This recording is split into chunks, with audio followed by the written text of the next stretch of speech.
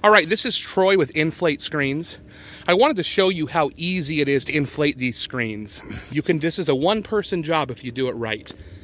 This is our 25 by 15 screen. Now the trick with, with setting them up with one person is you have to stake them down. You can't allow the base to shift around while it's filling up.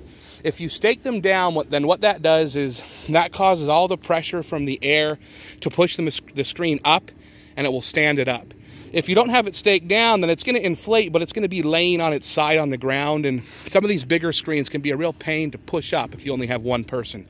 So the way you want to do it is stake it down first, then inflate it, and it will just inflate right into the place where you want it to be. The way I like to do that is I will I will partially inflate the screen so I can kind of see its shape and see where it's pointing and what direction I want it.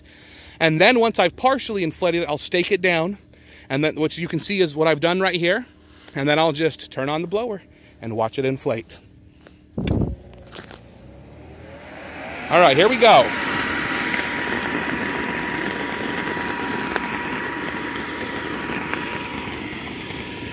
I have some guide ropes attached in case I need to give it a little bit of help to pull it over. I can do that with the guide ropes. I only have one blower on it, now, like, like you've seen if you watch the other video, we have ports for two blowers on these screens, but I'm only using one just to show you that, that you can do it with one blower.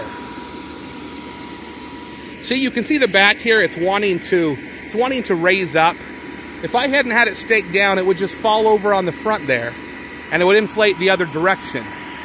But you can see, since I have it staked down, look at that.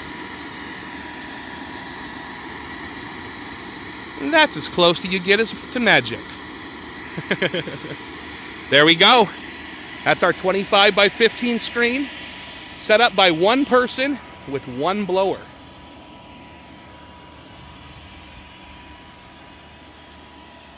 Now you always want to use those anchors up there uh, in case it's in case it's windy at all. I only have two anchors set, but you, you can see there are three up there.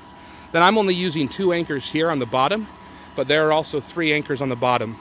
If I were going to if I was to show a movie on this screen today, which I'm not, but if I was, I would be using a rope at every single anchor point. That minimizes the chance that it gets knocked over in the wind. It minimizes the chance for, for ripping or tearing of the anchor points. If you only use one of the anchor points and the wind starts to blow, then all the pressure from that wind whipping this screen around is going to be on that one anchor point, which makes it a lot more likely to tear or rip. Even though this is rip and tear resistant fabric, we're talking about what is essentially a giant sail.